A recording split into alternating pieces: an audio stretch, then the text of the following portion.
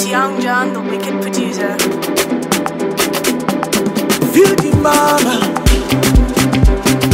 you know I like you so.